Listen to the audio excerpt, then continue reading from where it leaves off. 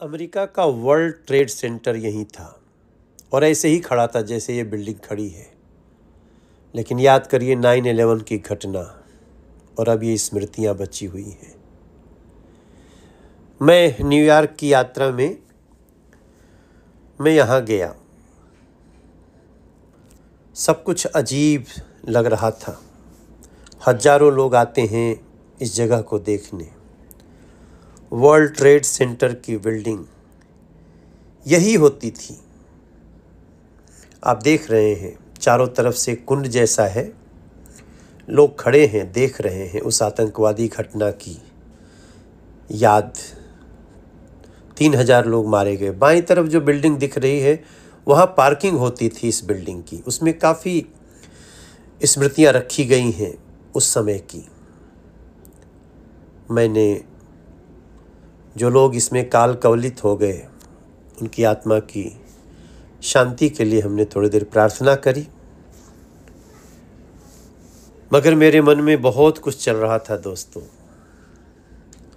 आतंकवाद का चेहरा कितना भयानक हो सकता है, आप कल्पना करिए। ये जो नाम लिखे हुए हैं, सब उन लोगों के हैं, जो उस दिन उस बिल्डिंग में थे और उस आतंकवादी घटना के बाद संसार में नहीं रहे। याद है ना आपको? जो दो टावर था और प्लेन हाई जैक करके आतंकवादियों ने सीधा प्लेन ही बिल्डिंग में घुसा दिया था। और देखते देखते तीन हज़ार लोग मौत के मुँह में समा चुके थे। हज़ारों लोग आते हैं यहाँ पे। यहाँ लगातार झरने के रूप में पानी गिरता है, जिससे बहुत शोर भी होता है, मगर मैं कुछ कहूँगा भी। हम वहाँ पे खड़े हैं। जहाँ नाइन इलेवन की घटना घटी यहाँ की दूसरी बिल्डिंग है, उससे भी बड़ी ये बिल्डिंग हुआ करती थी। ये बिल्डिंग और यहाँ से ठीक बगल में वो दूसरी बिल्डिंग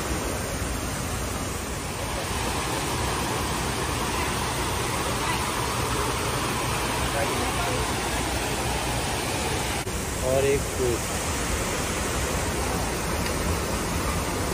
विनाशकारी आतंकवादी घटना जहाँ प्लेन से दोनों बिल्डिंग को गिरा दिया गया था।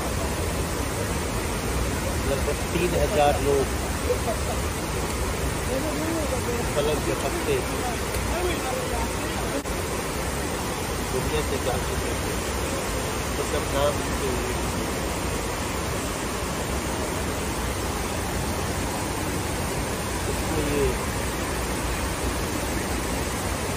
एक स्मृति स्थली बना दी गई है। मगर आप इस क्षण की कल्पना कर दोस्तों, कल्पना करना बहुत ही पीड़ादायक है और वो भी यहाँ खड़ा होकर के। हमें स्मरण हो रहा था, दुनिया के कई ऐसे देश हैं जो आतंकवाद का समर्थन करते हैं, परोक्ष रूप से, प्रत्यक्ष रूप से। और दुनिया में कई ऐसे लोग हैं जो बोलते हैं, लिखते हैं। लेकिन वो बड़ी चालाकियों से आतंकवाद पोषक देशों का समर्थन भी कर देते हैं। मुद्दे को डाइवर्ट करते हैं, मगर आप विचार करें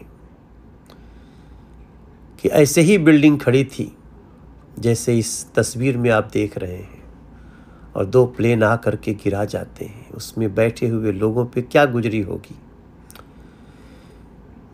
मैं प्रार्थना करना चाहता हूँ यहाँ खड़ा होकर सबसे। नाइन एलेवन की घटना में घटना में। यहाँ भी कई भारतीय थे। आप देखिए मैं दिखा रहा हूँ नाम लिखा है। युद्धवीर एस जैन एक परमार जी का नाम था। दोस्तों आइए आतंकवाद के खिलाफ खड़े होते हैं। आतंकवाद के खिलाफ बोलेंगे, लड़ेंगे। मैं मनोज तिवारी, नाइन एलेवन की विभीषिका, वर्ल्ड ट्रेड सेंटर की स्मृति, न्यूयॉर्क, अमेरिका से।